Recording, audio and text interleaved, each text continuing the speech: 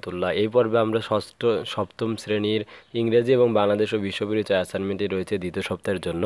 তা সম্পূর্ণ আমরা সমাধান বিশ্লেষণ করব। তো চলো প্রথমে আমরা ইংরেজি অ্যাসাইনমেন্টের প্রশ্ন প্যাটার্নটা কী রয়েছে তা আমরা দেখে নিচ্ছি।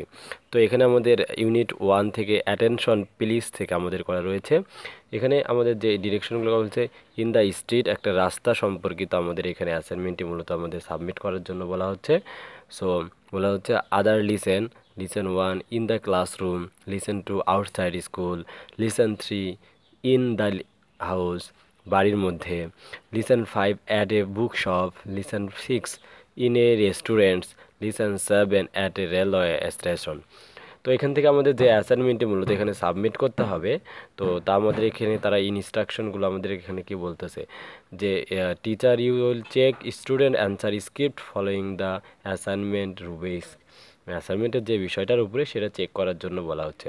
সো আমাদের যে অ্যাসাইনমেন্টটি লিখতে হবে সেটি হচ্ছে suppose a text with you and he does not know where your school is যে স্কুল কোথায় রয়েছে এ সম্পর্কিত জানো, তোমার স্কুলটা কোথায়? তোমাকে একজন জিজ্ঞাসা করল, তুমি তার কি দিবে? The person asks to give direction লোকটি স্কুল সম্পর্কিত স্কুলটা ডিরেকশন কোন দিকে, কোন জায়গায় সেটা বলার জন্য, যে you both are standing in front of your home তোমার বাড়ি থেকে তুমি ডিরেকশনটা দেখাবার জন্য চেষ্টা করবে।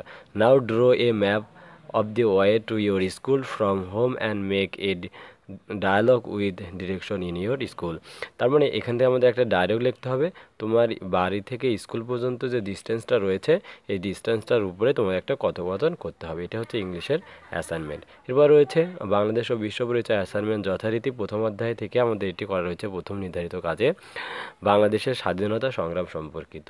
এখানে রাষ্ট্রভাষা রাষ্ট্রভাষা আন্দোলন পার্ট টুতে যুক্ত ফ্রন্ট পার্ট তিনে ছয় দফা আন্দোলন পার্ট চারে ঐতিহাসিক আগরতলা মামলা পাঁচ উনসত্তরের গণভ্যুত্থান, ছয় উনিশশো সত্তর সালে সাধারণ নির্বাচন, সাত, আটে পূর্ব ও পশ্চিম পাকিস্তানের মধ্যে বৈষম্য।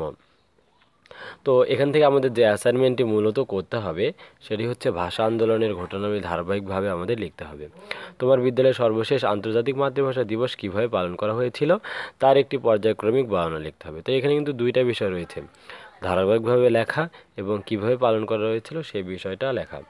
তো এই কাজগুলো করার জন্য আমাদেরকে কি কি কাজগুলো করতে হবে? সেটি হচ্ছে উনিশশো সাতচল্লিশ থেকে উনিশশো সাল পর্যন্ত তুলে ধরতে হবে এবং স্ব শিক্ষা প্রতিষ্ঠানের অনুষ্ঠান পালনের একটি অভিজ্ঞতা আমাদের বর্ণনা করতে হবে।